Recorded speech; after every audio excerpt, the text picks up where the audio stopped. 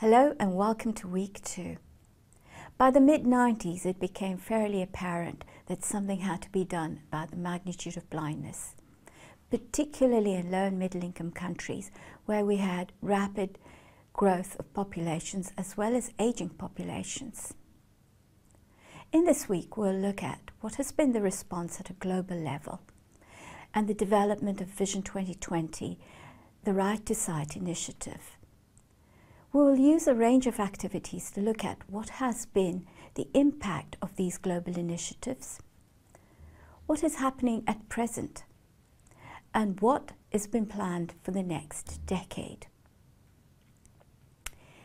In this week, we have a presentation by Peter Ackland from the International Agency for the Prevention of Blindness, in which he highlights some of the relevance and the interconnections between global planning and the application at a local level.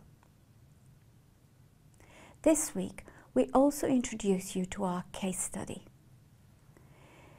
This is a district eye care case study which shares common challenges faced by many eye care providers from around the world.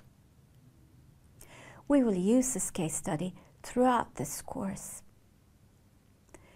We highly recommend that you use this case study to support your reflection, but also to share your own experiences and thoughts on the discussion forum.